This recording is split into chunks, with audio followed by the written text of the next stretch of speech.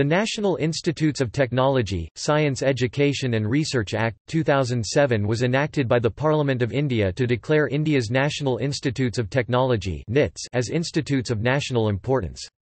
The Act received the assent of the President of India on 5 June 2007 and became effective on Independence Day, 2007. The National Institutes of Technology Act is the second law for technical education institutions after the Indian Institutes of Technology Act of 1961. NITs are centrally funded technical institutes in India, with a campus in each Indian state. This act declares them as institutions of national importance, along with the lines of the Indian Institutes of Technology and makes them eligible for a larger amount of funding and support from the Indian government. The Act also aims at unifying the organizational structure of the NITs and bringing them under the direct purview of the Ministry of Human Resource Department MHRD. These institutions were previously governed by individual societies under the Societies Registration Act, 1860.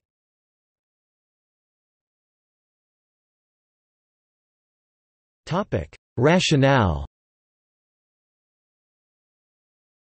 The 17 regional engineering colleges RECs Bhopal, Allahabad, Kozhikode, Durgapur, Hamirpur, Kurukshetra, Jalandhar, Jamshedpur, Jaipur, Nagpur, Rourkela, Silchar, Srinagar, Suratkal, Surat, Tiruchirappalli, and Warangal were established in the major states of India as a cooperative venture between the central and respective state governments.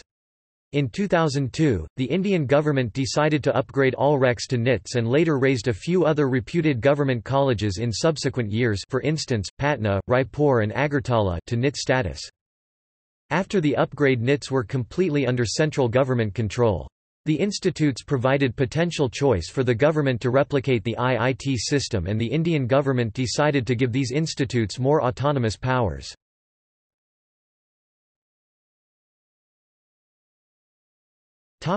Benefit to the NITs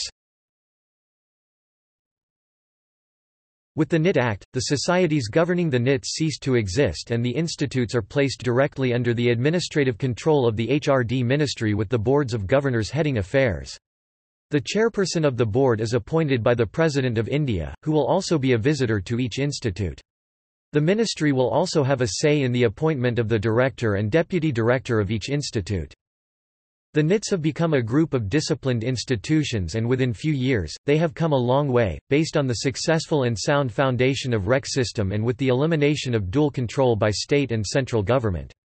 They have united together and successfully lobbied for Institute of National Importance status under NIT Act of 2007. With the newfound INI status, NITs shall be able to receive increased government funding and support, more freedom to implement various academic programs and increased attention nationally and internationally. NITs further plan to start NIT-NET for networking and implement NIT Vision 2025 to launch ambitious academic and research programs. Individual institutes will be permitted to start new programs catering to the needs of the local industry and wind up unpopular courses. The focus will be on nanotechnology and biotechnology. Plans are afoot to start integrated courses in science and technology along with dual degree programs both at undergraduate and postgraduate levels. NITs have been told to increase the student intake in the next five years, with the number of students being double to that of the existing strength. The MHRD ministry plans to increase the number of the research fellowships, with as many as 60 to 70 being granted to each institute to enable students to concentrate on new topics of interest. Existing laboratories and libraries will also be upgraded.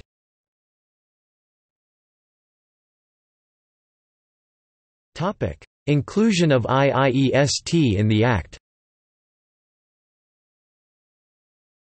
Indian Institutes of Engineering Science and Technology is an academic institutions in India for research and education in engineering. These were originally proposed by the Government of India in 2007.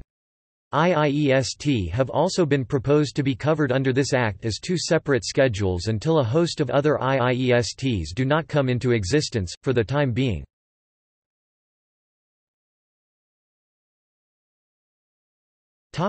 Amendments